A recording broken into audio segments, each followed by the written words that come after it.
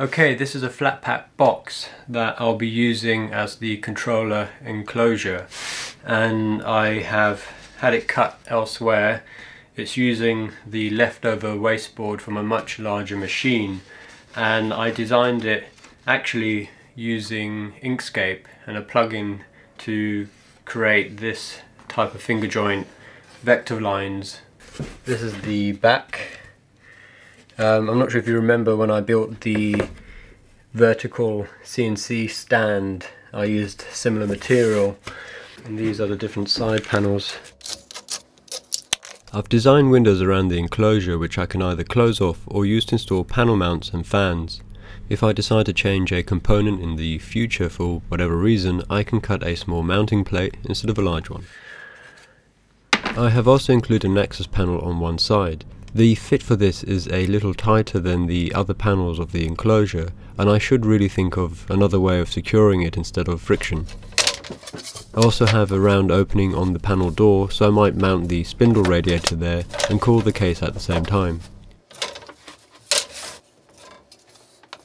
The internal measurements of the box are roughly 22 centimeters deep and 52 centimeters square.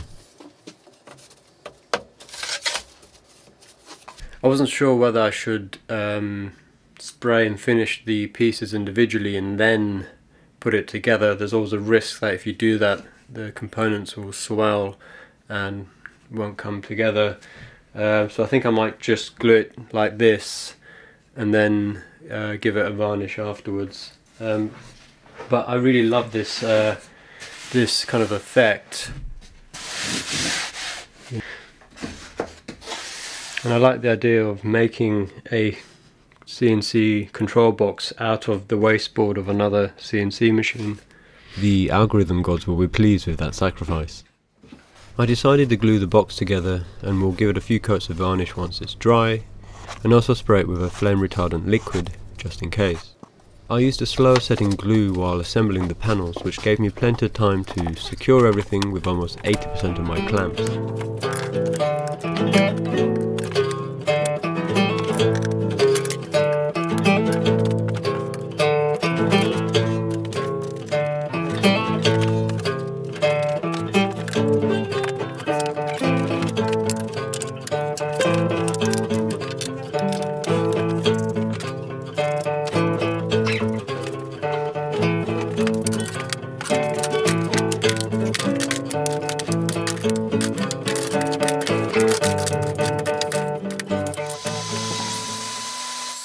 I'm now cutting the mounting panel out of 3mm aluminium. This is going to be 450mm square with rounded corners. It will stand off the bottom of the enclosure on 12mm birch ply spacers and secured to insert nuts.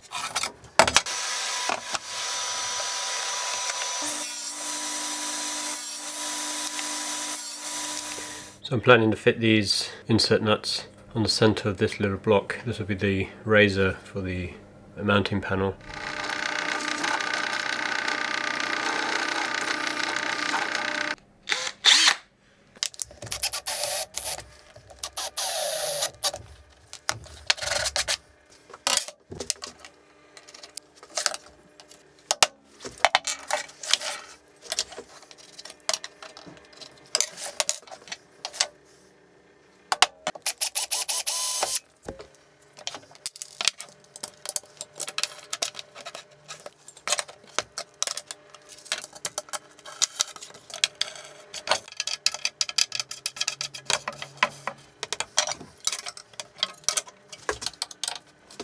To space the mounting panel I use some blocks which are placed between the inside of the enclosure and two sides of the panel. I then lift the panel and score where the MDF will be glued. Before applying the glue I am putting weights on the panel until the glue is cured.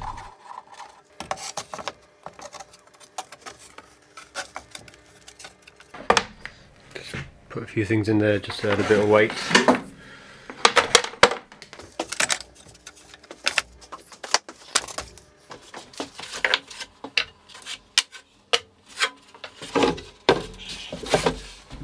Okay, so I bought uh, some slotted trunking. Uh, I did try to cut some myself, uh, but I found it was too brittle, it just snapped too easily. Um,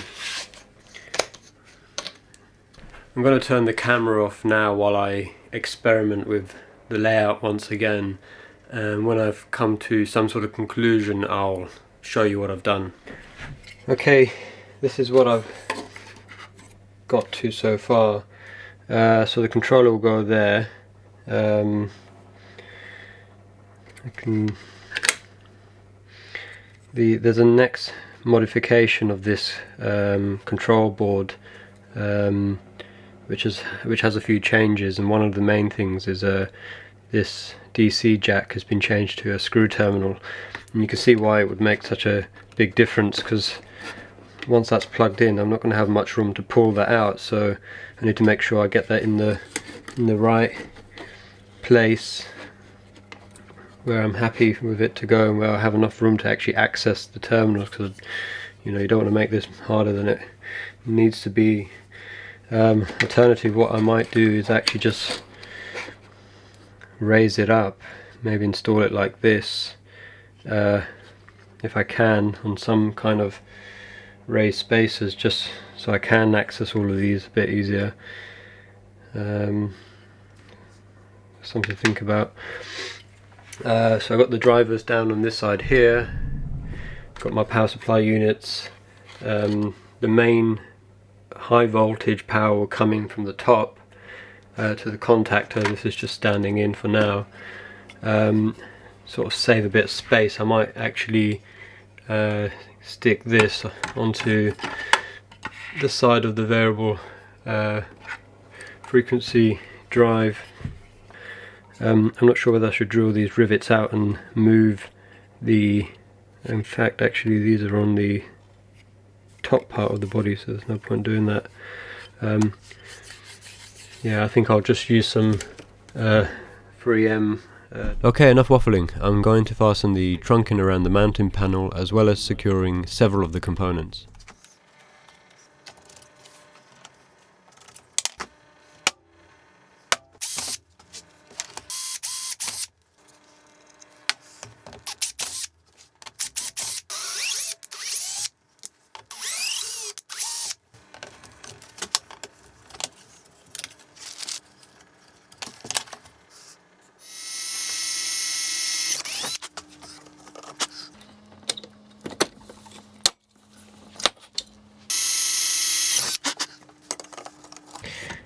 They're a little bit long these rivets but they're all I've got.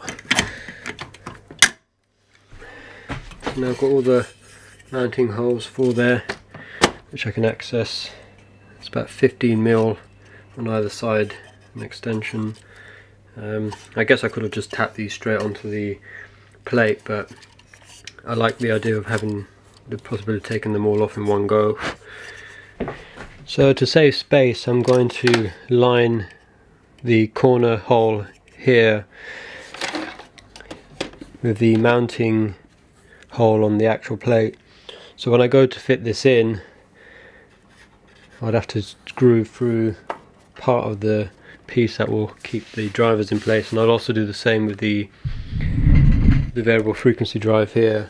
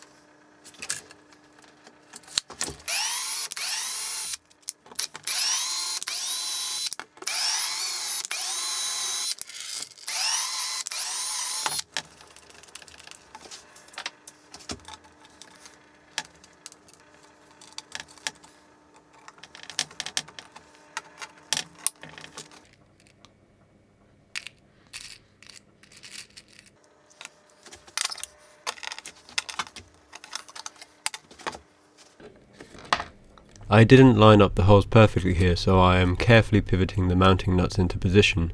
I think all the components could have been more easily installed using adapter brackets like the ones on the stepper drivers.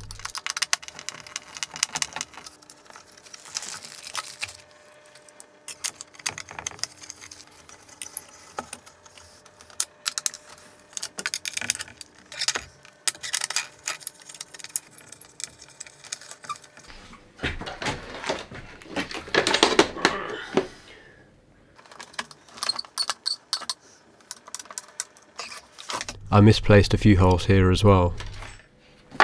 Drill the holes out to 3.5 mil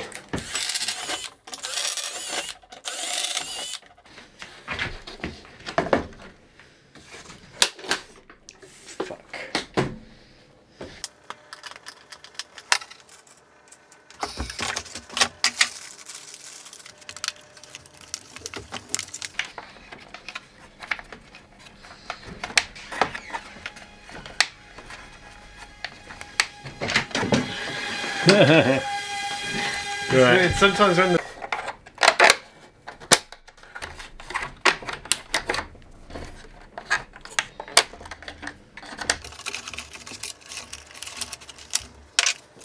I didn't explain much in the last bit as I thought it was quite self-explanatory. I made a few mistakes and showed how to correct them. But if you are unclear about anything in the video, write a question with the timecode of the scene and I'll elaborate in the comments. I'd also be curious to know what people think of the enclosure design. I'm really excited that it's starting to take shape. So in the next video I will work on some of the panel mounts and wiring power to the enclosure. If you want to download the enclosure DXF files, those will be made available on my Patreon page. Anyway, thanks again for watching, and don't forget to sacrifice a thumb if you enjoyed the video.